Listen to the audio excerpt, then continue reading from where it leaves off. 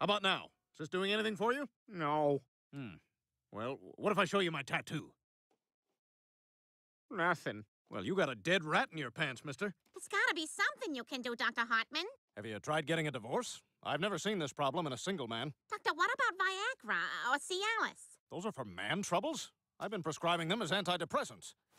Everything's just getting harder and harder.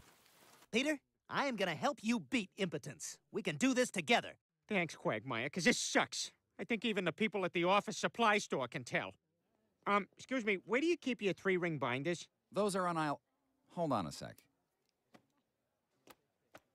We're all out of binders. Are you sure this is gonna work, Quagmire? Of course, this isn't the first time I've rigged up a sex puppet. I now have full control over your genitals. Are you sure? Yeah, check it out.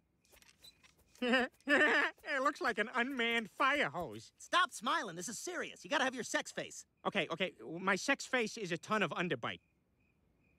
Okay. Lois, I'm ready. Uh-huh. Peter. How about this? Damn it, Peter. I'll set the pace, you idiot. All right, now to let some line out. Let her dance with a little.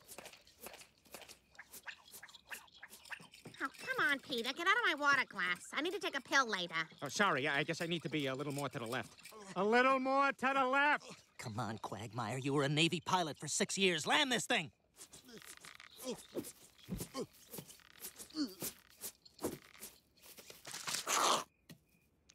Oh, Peter, that's new. Let me try.